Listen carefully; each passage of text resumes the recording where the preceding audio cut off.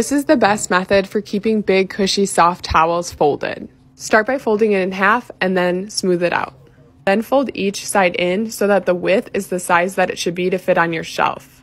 Now fold in the other direction, one end in. You'll tuck the other end into here so that it stays folded. This will work for any size towel, but these towels are bath sheets.